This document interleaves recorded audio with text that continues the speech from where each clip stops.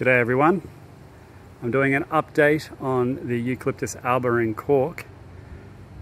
And um, I've got to say, now that I've come back here in August, um, in nice summertime, there's evidence of damage to the leaves from the cold frost that we had in winter here. Now, I'll just try and zoom in on that because it's a very sunny day. I'm having a little bit of difficulty getting all of the tree in.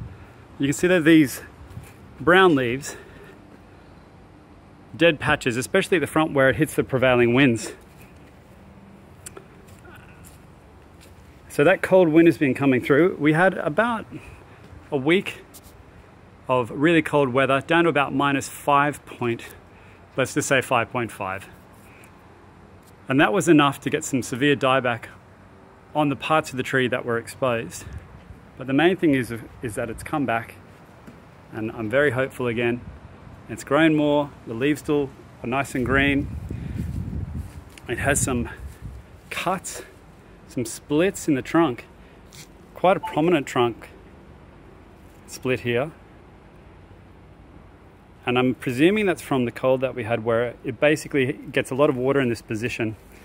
Um, and then it froze or got heavy frost and that made it all contract because we haven't really had any drought here. So look, I'm going to be reporting back on the progress of this split, but I'm hopeful that it will all grow back over itself the way that it has done in the past. But it's a pretty significant split this time around.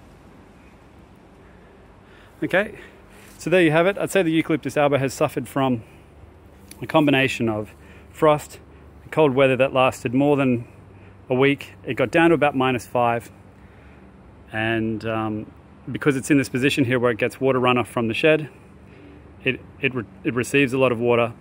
And even though the root system is really strong because I planted it as a seedling, um, it's still going to be absorbing a lot of water because they're thirsty trees. Okay, that's the update on the Eucalyptus alba.